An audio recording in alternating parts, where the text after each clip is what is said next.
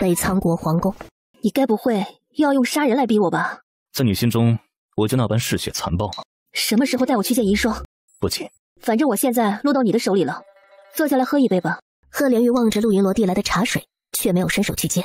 我昨天来的时候，从头到脚都被你的人给搜过了，就连衣服和鞋子都被烧得一干二净。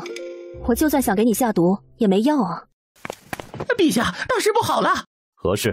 东兰国率领十万大军攻打平郡城，要不了多久，平郡城怕是要失守了。十万大军，东兰皇还真是给面子。你现在把银霜交出来也不晚，我可以让东兰国立刻撤兵，否则……云罗，你以为我抓银霜是为了什么？我真正的目的只有一个。云罗，留下来，我需要你。你觉得我会留下？陆云罗很诧异，是银霜现在是在他的手上。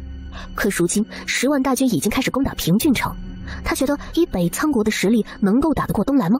我既然敢抓严霜，那便说明我有十足把握让你心甘情愿的留在我身边。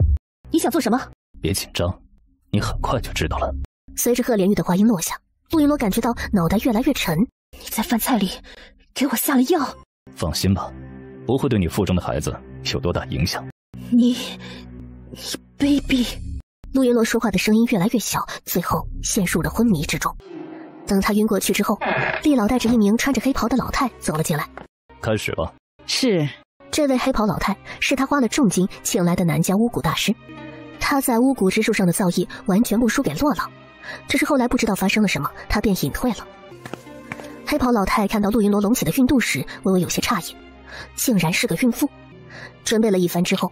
一只通体粉色的虫子从瓶子里慢慢的爬了出来，一滴嫣红的血从贺连玉的指尖溢出，那只粉色的虫子身上迅速染上了一层红雾，等那红雾渐渐吸收之后，才慢慢的钻入陆云罗的体内。云罗，从明日开始，你的眼中终将只有我一人。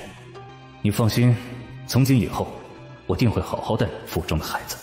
午后时分，宫外某个隐蔽的地点，北明。你说门主和门主夫人，他们该不会被那贺林玉给抓了吧？按照约定，门主夫人和门主昨天夜里就应该和他们会合的。再等等，要不我们出去打探一下消息吧？外面到处都张贴着我们的画像，你准备如何避开？你忘了，龙门可是做情报的，这乔装易容可是我们龙门情报人员的拿手活。像我们现在这种情况，最快捷的办法就是男扮女装。呃，其实我也可以把你易容成老人，不过等弄到材料，恐怕还得一些时日。不必了，就女装吧，越快越好。呃呃，好，那那你等我一会儿啊，我我我去去就来。外面的天色越来越暗，秦风早已经换上了寻来的女装。这时，一名身材消瘦的女子从里面走了出来，她的皮肤十分的白皙，眉眼之间是寻常女子所没有的坚韧和冷意。秦风看呆了，帮我梳发吧。好。